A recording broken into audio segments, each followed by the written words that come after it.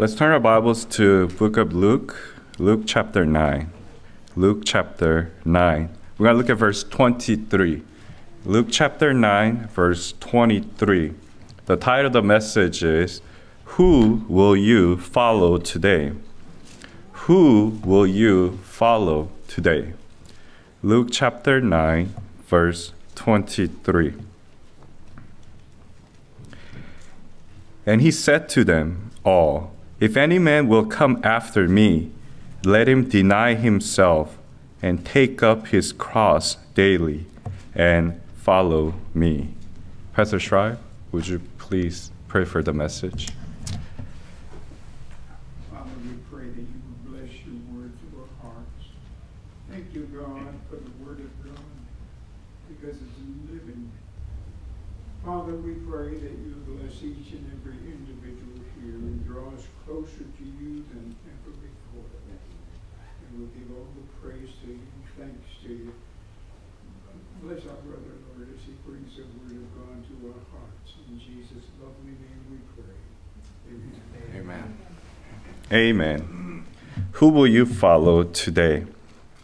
Each day, you and I wake up and we have decisions to make. We have choices. And we can follow someone that day. And it starts from the beginning. You have to make a commitment and you have to make a decision that day who you're going to follow. If you do not make a decision on that day who you will follow, what happens is that you're going to follow your circumstances. You're going to follow whoever you think is more advantageous to you whenever it is. We all know that we want to follow Lord Jesus Christ. That's our goal in our life. We want to follow Lord Jesus Christ no matter what happens. However, that's not the case. You and I know very well that we don't follow the Lord like we should on a daily basis. If we did, then we wouldn't fall into so many temptations. We wouldn't fall into so many discouraging, you know, I guess, ways. We wouldn't fall into lazy ways. You and I need to recognize and realize that we need to make a decision each day, each morning, right when you wake up, who you will follow today. And in order to follow Lord Jesus Christ, there's always prerequisite, right? Number one thing is that you have to get saved. Now, without saying, you need to become child of God in order to follow the Lord Jesus Christ. And again, if you haven't, you know, accepted Jesus Christ as your Lord and Savior, you know, you must realize you are a sinner on your way to hell, right? You know, I mean, who can actually say that I don't deserve to burn in hell when you think about everything that you've done? It's not about going out there and committing murder. It's not about going out there and doing hideous acts on someone. Your envy, your jealousy, your hatred, adulterous thoughts, they're all sin. And in front of an almighty God, can you honestly say that I'm sinless? Of course not. You and I, we're all sinners. Let's turn our Bibles to book of Isaiah chapter 40. Isaiah chapter 40. It is important before you get saved and after you get saved to realize that you are nothing. When you think you're something, that's when you won't follow the Lord. You're going to start following yourself, the world, Satan, everything else. That's why it is very important on a daily basis when we wake up, we tell ourselves, but it's got to be rooted from your heart that I am nothing. I'm nothing. Look at Isaiah chapter 40, verse 17. The Bible says, All nations before him are as nothing, and they are counted to him less than nothing and vanity. Think about it. I mean, that's the type of attitude you and I should have. You're like, isn't that negative? Isn't that too, you know, dejected, dejecting? No. This is the way for your betterment. You need to realize that you are nothing. You know, besides from, aside from the Lord Jesus Christ, you and I are nothing. You and I cannot accomplish anything without the Lord Jesus Christ. And in order for you to get saved, you must realize that you are nothing. You're just a sinner on your way to hell. And you realize that. And you have willing to turn from your ways, willing to turn from your sins with repenting heart. And you're going to the Lord. Lord, I'm a sinner on my way to hell. I turn to you. I want you to save me. Amen. With that heart, and when you receive Jesus Christ, like according to Romans 10 9, that if thou shalt confess with thy mouth the Lord Jesus and shalt believe in thine heart that God is raising from the dead, thou shalt be saved. Then Bible says you have eternal life. Because Bible says, but as many as received him, to them gave he power to become the sons of God, even to them that believe on his name. So you must be saved in order for you to follow the Lord Jesus Christ. You could say, I'm following the Lord, not knowing you're saved, not accepting Christ as your Lord and Savior. Yeah, you're following Lord. You're Lord the devil. So a lot of times people forget. You either serve the Lord Jesus Christ or you serve the devil. Because at the end of the day, when you're serving yourself, you're serving the devil. That's what devil loves. That's why it's very important for Christians to recognize that on a daily basis, when you wake up, you have to make a commitment. I will serve the Lord today. Because too many, because it's from my own experience, too many Christians go on each day, especially like Monday, Tuesday, Wednesday, Thursday, Friday, Saturday, you know, before Sunday, you think that, you know what, I'm just gonna live a regular, normal day. I just wake up, do my thing, go to school, go to work, you know, whatever I need to do, and you just end the day. But however, when you look back, I mean, have you really followed the Lord on those days? Most likely not. You know, because when your heart's not dedicated to the Lord on a daily basis, you cannot serve Him fully on a daily basis. Turn your Bibles to Joshua, Joshua chapter 14. Let's look at good example from the Bible. Who was a good example that we could follow? Joshua chapter 14. We look at Caleb here. Caleb not brother Caleb up here, but we look at the uh, Caleb in the Word of God. And, you know, I think Caleb has this kind of character as well. Joshua chapter 14, verse 8. This is Caleb speaking. Nevertheless, my brethren, that went up with me made the heart of the people melt. But I, but I wholly followed the Lord my God. Look at verse 14. Hebron therefore became the inheritance of Caleb, the son of Jephunneh, the Kenizzite, unto this day, because that he wholly, again, the word is wholly, because that he wholly followed the Lord God of Israel. We know, you know, when they those spies went out, besides from Joshua and Caleb, they all were melted. You know, they were scared why? Because they did not wholly follow the Lord. Again, it is imperative, it's very important that you examine your heart on a daily basis. Am I following the Lord wholly? Am I truly dedicating my all to the Lord wholly on a daily basis? I guarantee you, Joshua, I guarantee you, Caleb, Moses, they followed the Lord wholly. You know, when you think about the word wholly, what does it remind you? You know, what comes to your head? The whole thing, right? When you're eating a donut, do you want to eat just the parts of it? No, you want to eat the whole thing. For some, you know, especially young people, older people as well, when you have a personal sized pizza, right? We're not talking about extra large pizza You know, you go to some pizza places and you order a personal sized pizza. It's perfect for you, and you're very hungry, right? And when someone comes, hey, can I have half of your pizza? And you're looking at your pizza, it's only this big. And you you give him, you know, those dumbfounded look, right? Are you serious, you know? I mean, but you like holy. You like, you like the whole things.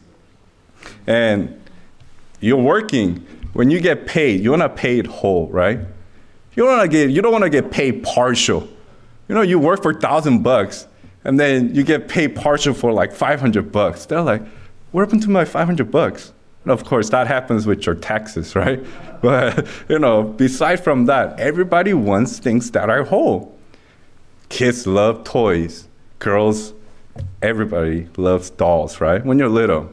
Do you want to receive your doll without arms, without your legs, without hair? No. Without a nose? Without an eye? No, you want the whole thing. You want your cars without with the wheels missing, boys, girls, you know, when you're playing with you know, racing cars? No, you want the whole thing. Then if you yourself like things whole, you yourself like things being holy, right? Don't you think God expects you to be whole? Don't you think God expects you to give yourself wholly to Him?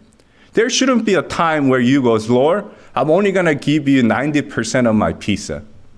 Other 10, I'm gonna give it to my worldly friends. I'm gonna give it to the devil, and I'm gonna give it to, you know, for my pleasure. I mean, Bible says little leaven, leaven is the whole thing, right? That little thing is gonna pollute the whole thing. That's why when you look at your day, when you don't follow the Lord 100%, when you don't give yourself to the Lord wholly to Him 100%, what happens? Something's gonna come in and it's gonna poison it.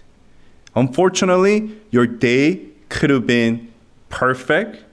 However, because you let some poison, pollution, worldly things, your lust come into your life, and because the fact that you did not wholly dedicate yourself, gave your heart to the Lord, what happens? It ruins it at the end of the day. Man, think about it.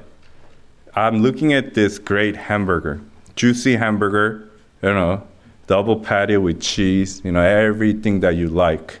And then you see the juices flowing, right? Angus beef or Wagyu beef, you know, real good beef. For most people, because there are crazy people out there, but most people, if someone spits on your food, it's hard for you to eat it, right? If someone forgets to close their mouth and they sneeze, and they sneeze all over your burger, and burger wasn't even closed with the bun, it's still open, you know? And then, wow, it's, and then you could see, you know, those slow motion that you see, even though it's happening in real motion time, you see this, you know, bunch of, you know, this wet stuff going onto your burger. And you have a choice. And 99 out of 100 percent will be like, you know, people will be like, nah, I'm not gonna eat that. You go eat it, right? So you lost it, right? Just because of the little things, you know. If they if there was fly on it, right? So a lot of people won't eat it either. But there's some few who will still eat it no matter what, right? They wouldn't care, right? You know, and they're not normal, right? You know, but, but as far as normal people are concerned, you know, when those things happen, you wouldn't eat it. I mean, if we go even beyond a little further, you know, you're putting some rat poison around your houses, and then someone accidentally, because they have butterfingers, dropped partial of rat poison on your burger. At that point, not even crazy people will eat it because there's a chance that you'll die or you get really sick. Then, when you look at your day, even today, it's Sunday, you know, you kind of make it more holier day than the other day. Think about how you started today.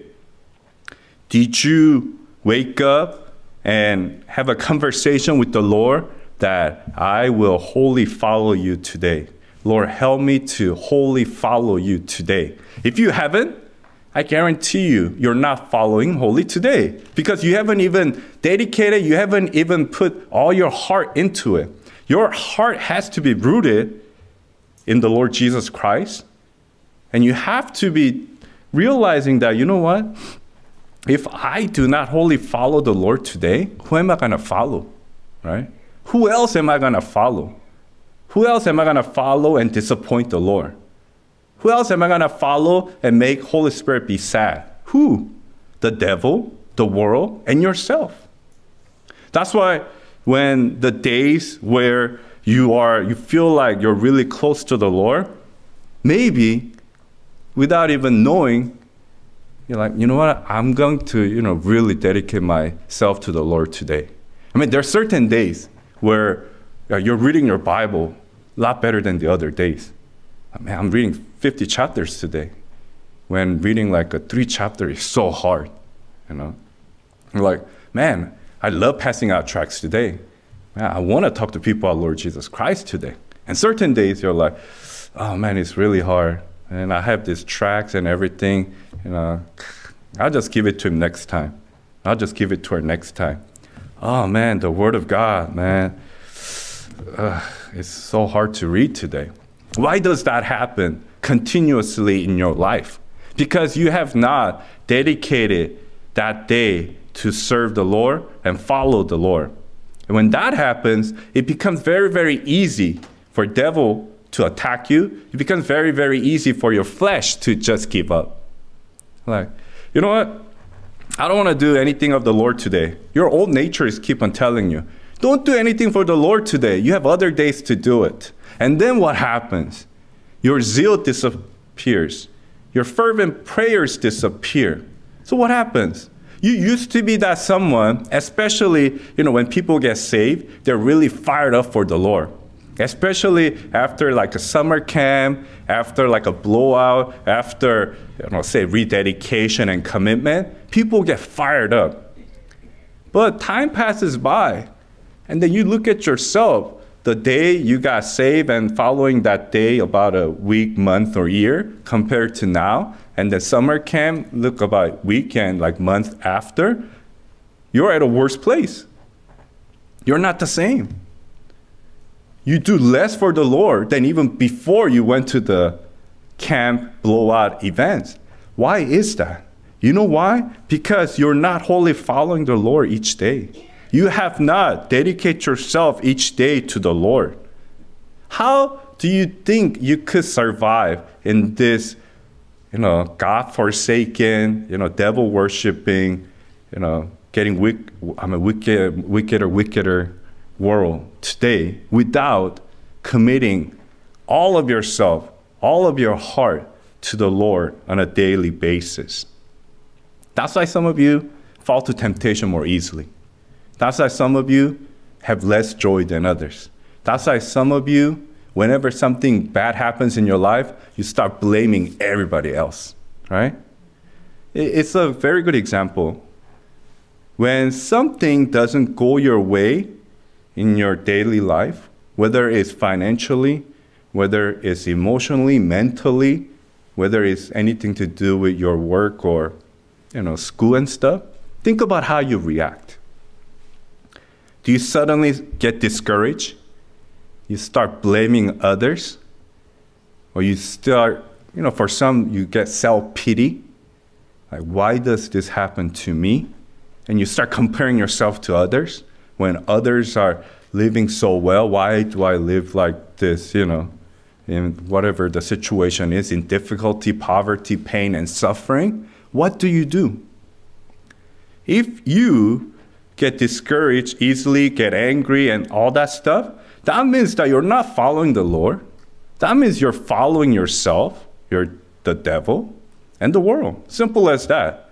There's only two choices either you follow the Lord or you follow everything else. When that happens, what happens? God is not your God. Lord Jesus Christ is not your God. Everything else is your God. And you become idolater. Right? You're like, oh man, what happens to people who commit idolatry? You know, especially in the Old Testament. You know, they were killed.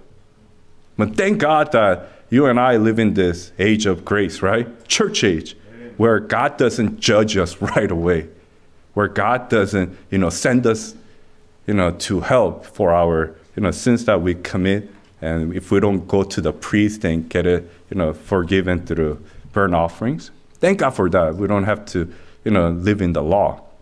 However, your Christian state will be determined based on, you know, how many days you commit to the Lord. You we hear this term, right? You know, you know, Pastor Kim's preaching, or he preached about, you know, you know, things of Holy Spirit for Saturday ministry, right, for Korean people, and it was profound. It was, I mean, it was very profound to hear. You know, one of the best preachings that I've ever heard from his mouth, right? You know, Lord talks to him, and you know, I've been coming to our church for what, like, 23 years plus.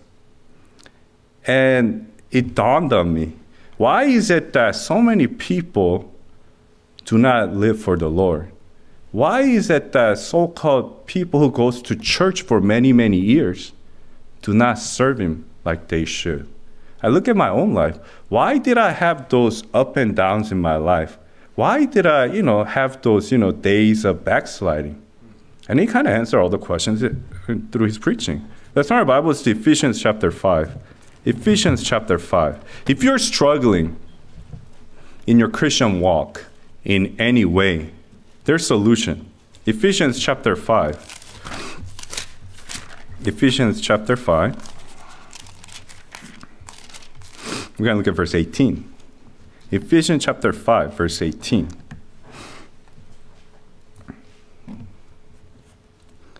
The Bible says, And be not drunk with wine, wherein is excess, but be filled with the Spirit. So, in order for you to wholly follow the Lord, there's one thing that's got to happen in your life. You have to be filled with the Holy Spirit. And getting being filled with the Holy Spirit is not speaking in tongues, right? Like those charismatics do. It's not about, you know, doing praise and worship, you know, jumping up and down like in a concert. No. Being filled with the Holy Spirit simply means that you are controlled by the Holy Spirit. You let Holy Spirit control everything. When you're not filled with the Holy Spirit, then what controls you? Your flesh. Your flesh controls you. And what's flesh related to? The world, sin, the devil. Simple as that. Then how can you be filled with the Holy Spirit? How can you let Holy Spirit control you? How can your life be filled with the Holy Spirit control life? Answer from your bottom of heart each day you pray to God that you want to be filled with the Holy Spirit. You have to ask. It's a command. You know, Bible Ephesians 5:18 doesn't say try to be filled with the Holy Ghost. Do your best to be filled with the Holy Ghost. No. Bible says, but be filled with the Spirit. It's a command. Then if you're not filled with the Holy Ghost, then you're committing sin. How many times have you think, now remember, I mean, for some, you've been saved for like 15, 20, 30, 40, 50 years, right? Think about it. And for some, you've been a new Christian. Think about it. How many times, how many days, how many hours, how many years do you think that you weren't filled with the Holy Spirit? Probably countless. You can't even go back and count those days. I mean, you know what would be good? You confess your sins to the Lord and get right with the Lord. The days that you weren't filled with the Holy Ghost. You have to be filled with the Holy Spirit. Then how do you do it? You have to want it. And you have to want it from your bottom of your heart. And you have to ground it into it. That's why it is very important that you ask yourself on a daily basis, especially when you wake up, who will I follow today? Why? Do you know why that question is very important? It puts you on a spot that you could always fall. It puts you on a vulnerable spot where you could always not follow the Lord Jesus Christ. It puts you on a spot to remember that you're nothing, right? If I followed the Lord yesterday, doesn't mean that I'm going to follow the Lord today. That's how wicked I am. I am nothing when I think I'm something where, you know what, I've been following the Lord you know, I had, you know, a lot of fruits. You know, a lot of people got saved, you know, through, you know, me talking to them, witnessing, you know, I'm, I'm having the fruit of the Holy Spirit, you know, I feel good. That's when that pride gets in and then you fall. It's so true what the Bible says, right? Proverbs 16, 18, pride goeth before destruction and a haughty spirit before a fall. That's why you have to constantly, always maintain your humble heart. In order to follow the Lord wholly, you have to be humble. And what does humble mean? According to Isaiah chapter 40, verse 17, it means that knowing that and realizing that rooted in your heart, constantly reminding yourself when the flesh says otherwise that you are nothing. You know, when flesh tells you something, that, hey, you're something, you're smart, you're good looking, you're pretty, you know, you uh, know, you're better than the person over there, you know, so and so. Just tell him, in the flesh, you need to shut your mouth because I am nothing.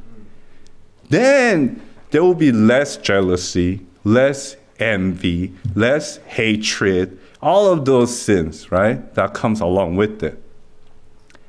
When something good's happening to brethren, it behooves me to understand and think that why are you jealous? Why are you envious when something good happens to your brethren, right? You know, it's like, is it because you didn't get the 500 bucks that other person get gotten? I mean, is that money that important to you? Uh, you know, it's like someone says they look better. You're like, oh man, I look better than that person. How dare they say? Or you're like, how come they didn't tell me that I'm a pretty person? I'm a good-looking person. I stood next to each other. I mean, the petty things that people can say and think and do. But it is something that goes on each Christian's life on a daily basis when you do not ask the Lord and when your heart is not grounded, where, you know what, I am nothing, I must follow the Lord today.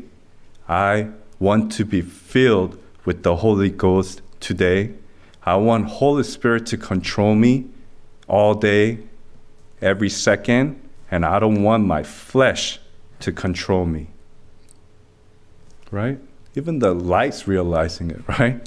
you know, it just went up, right? I mean, you do not want your flesh, you do not want flesh controlled life. That's opposite of spirit filled life. And if you continue to read like Ephesians, Galatians, you know, all the Pauline epistles, you'll see all those sins, those are listed, right? When you are filled with your flesh, your lust, you know, then only fruit that you're gonna bear is sinful fruits. The result of spirit filled life is what? You have fruits where you have a, you know, Holy Spirit fruit, right? Like according to Galatians chapter 5, verse 22 and 23. And also, you have a fruit of leading people to the Lord. That's why some of you, you, you know who you are. When you do not dedicate your day, each day, to the Lord, when you're not filled with the Holy Spirit, there's no fruit when it comes to lost souls out there. You don't pass out tracts. You don't pray for the lost souls, right? You don't talk to people about, you know, the gospel.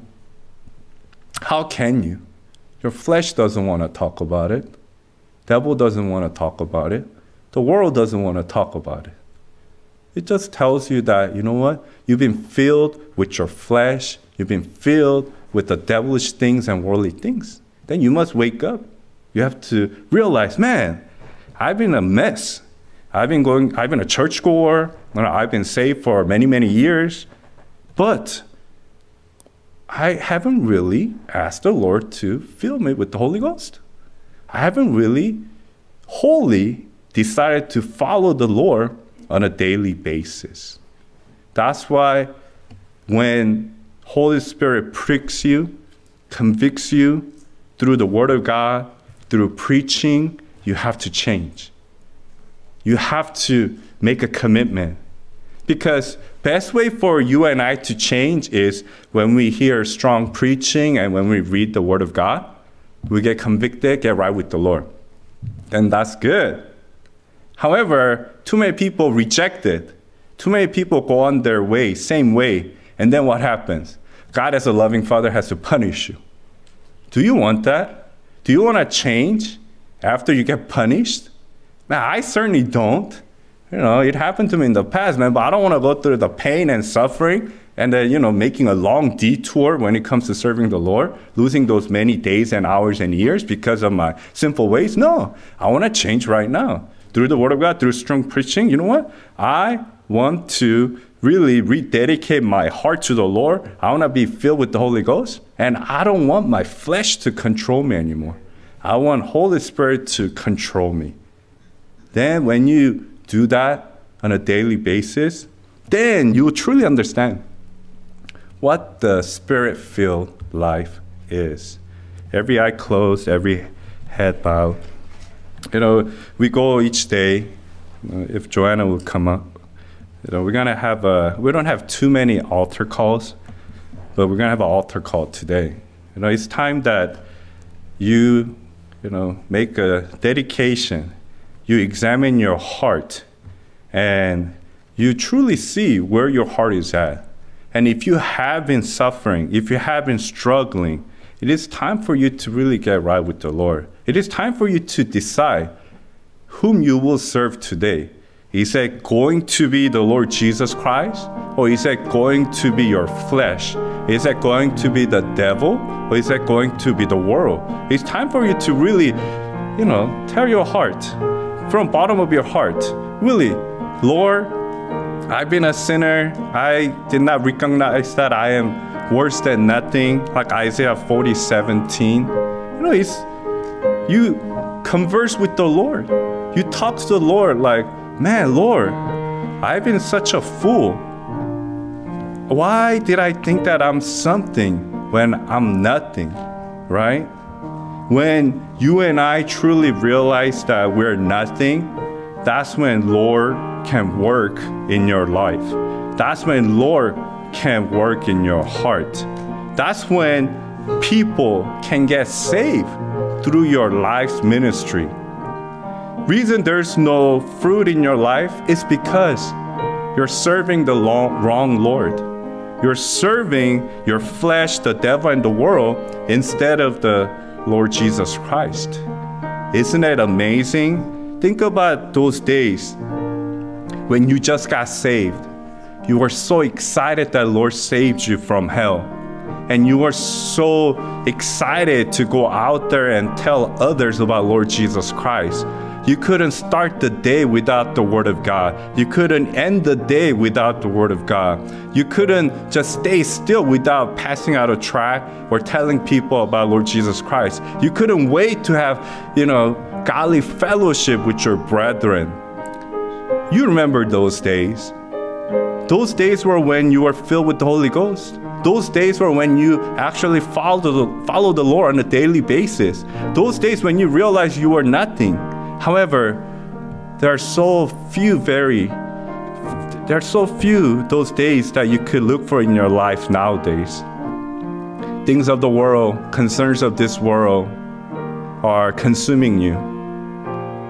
You're being controlled by your flesh. You let flesh control you. I mean, think about it the judgment seat of Christ.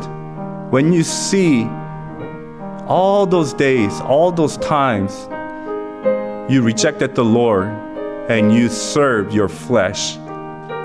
When you sinned against Ephesians 5:18, when the Lord says, "But be filled with the Spirit."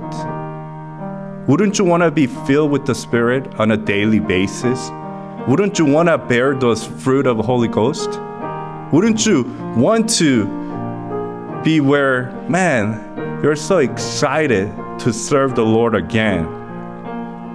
Thank God that God is God of many, many chances.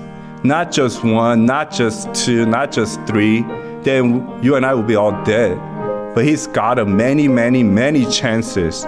When God gives you a chance to get right, when God gives you a chance to right the ship and go sailing better again, it's time for you to get right with the Lord and go the right path. And starting right now, starting tomorrow, let's really dedicate each day to the Lord. Let our heart be filled with the Holy Ghost. Ask the Lord to fill you with the Holy Ghost. And make sure that you are following the Lord Jesus Christ. And when you are following Lord Jesus Christ, being filled with the Holy Ghost, realizing you're nothing, your life will be full of joy, your life will be full of peace, your life will be full of blessings. Not just, we're not talking about physical blessings per se, spiritual blessings. Imagine that, living each day joyfully, serving the Lord, having your heart grounded in the Holy Ghost, and saying no to your flesh. Man, as you become more victorious, as you get more victory and victory, you'll find more confidence in the Lord Jesus Christ. Just like Apostle Paul said, you know, when I'm weak, I'm strong. And you really realize that, man, when I'm weak, when I know I'm nothing, only Lord can do it. You do your best with it, man, you're going to have this spirit filled life. Thank God that He has given us this conviction and challenge through the Word of God and through preaching.